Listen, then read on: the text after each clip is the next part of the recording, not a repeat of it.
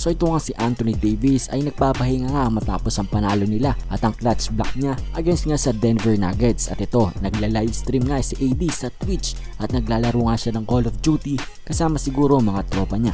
At dito nga sa livestream na to nabanggit nga ni Anthony Davis na kapag sila daw ay nanalo ng championship ngayong taon magpapagaya daw siya ng buhok dito kay Dennis Schroeder. Di ba si Schroeder nga ay may blonde stripe dito sa kanyang ulo, sa kanyang buhok. Ito, panoorin nyo ang sinabi ni Anthony Davis. That dude did say blonde stripe though. Hey, if we win it when we win a chip this year. Oh, we got one right here. Taking Check. Reposition. When we uh win a chip, I'ma uh get a blonde stripe Losing like, ground. like Dennis. All right, chat. I gotta lock in right now though. My team getting mad at me. When we uh win a chip, I'ma uh get a blonde stripe Like Dennis.